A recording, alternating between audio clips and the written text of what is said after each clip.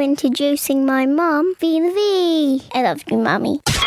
Hey, beautiful. This has been a V, and welcome to the 28th episode of the Mum to Millionaire podcast, helping you create a successful business and incredible life for your children. On the show today, I'm so excited. We've got a mum of one to a beautiful, she is so gorgeous, uh, little girl. She started blogging back in 2005. So happy 10 year blogging anniversary.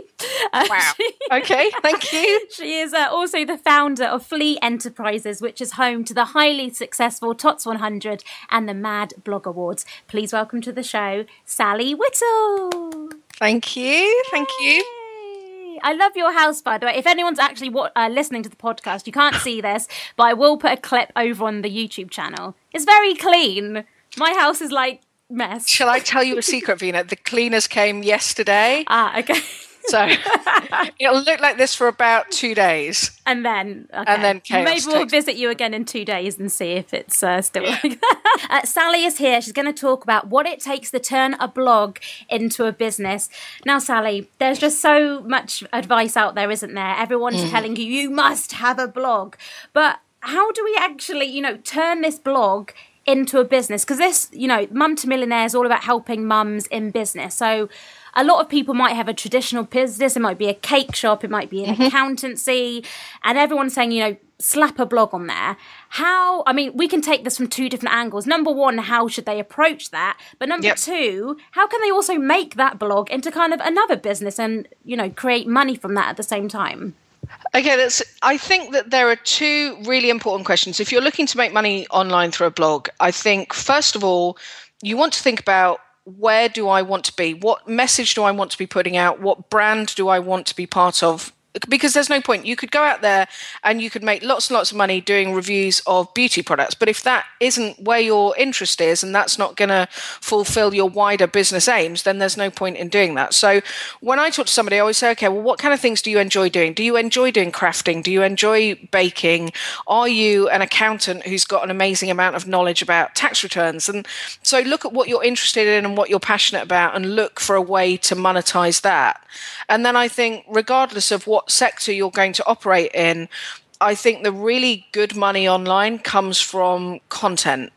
And I think you know there's there's this tendency sometimes particularly with businesses to think well i'm just going to write an article about what i know and it's kind of like well that's great and that would work beautifully in a magazine. My background's in magazines and that might work great. But online, you've really got to think about content and shareability and what can I create that people can easily consume online that's useful to them? How's it going to help them have a happier day or to do something more quickly? Um, I know when I used to be in journalism, we used to talk a lot about faster, cheaper, better.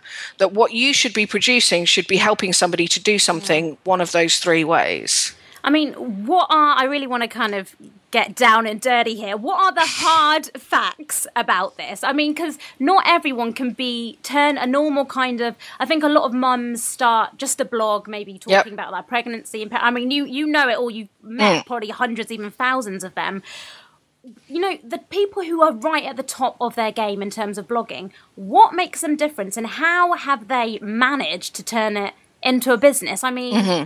Because I think when we look at, particularly with the women who've got um, family focused blogs, and they're not all necessarily just mummy blogs, they might be food or craft or lifestyle or whatever it may be.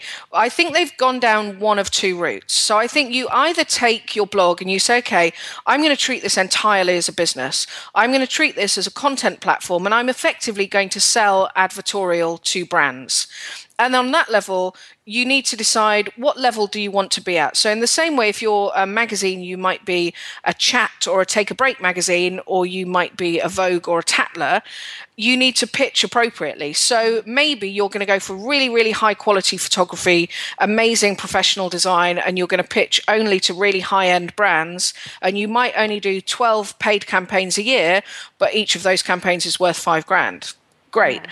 But you might go the other way and say, okay, well, I'm going to do cheap and cheerful product reviews, paid links, sponsored posts at 40, 50 pounds a time, but I'm going to do five of those a day. Mm-hmm. And I don't think any one of those routes is necessarily better than the other.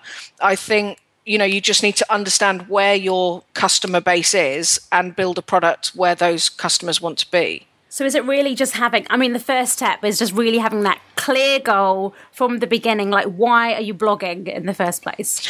Yeah, but I also think I always think like the first 6 months I see lots of bloggers and they start a blog and it's like month 2 and they come and register with Tots 100 and they email us and say oh, I really really want to work with brands and I kind of think just enjoy those first six months of trying out different sorts of content.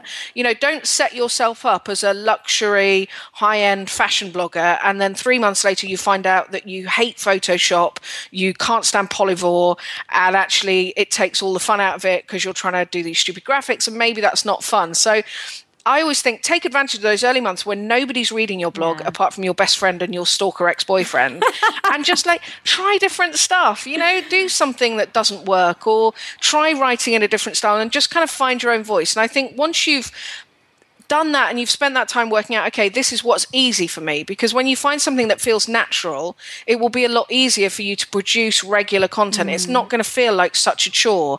You don't want to be that person who's got to sit and spend half a day writing a blog post because it's just not the kind of thing that you would naturally gab on about anyway.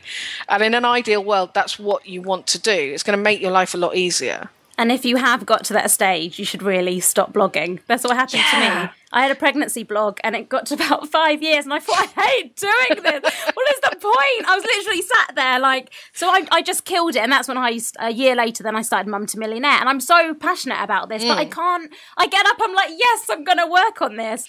I would, before when I had the pregnancy blog, I was like, oh my, it, it turns into a chore. And yeah. I'm so glad you mentioned that because as soon as it turns into a chore, there is no point doing it. Well, I think it's are, really you know. tempting. You can look at other people who are successful. I was chatting with a friend about this this week and saying there's one particular blog in our community and they've started craft blogging and their traffic has gone absolutely through the roof. Crazy, crazy numbers. And she gets like 25 times more traffic than my blog does. And I was like, the number of times I've thought I really should try and make something out of a toilet roll tube. But I would hate it. I would be miserable and it would be rubbish because I'm not gifted. So I kind of have to accept the things that I write about are the things that if I wasn't writing that post, I'd probably be ringing up my best friend and saying, oh my God, you wouldn't believe what happened. Or did you watch this stupid TV show? Is it really inappropriate to have a crush on him? And that kind of thing. So you're writing the stuff that you'd be talking about anyway, that you'd be sharing sharing anyway. Sorry, and that makes fun. I'm just God. imagining Sally, we're just looking at this toilet roll thinking, how can I do something? It's just, it wouldn't end well. wouldn't end well at all. Never going to be a craft blogger, never going to be a food blogger. And there may be fortunes to be made, but I'm going to have to miss out.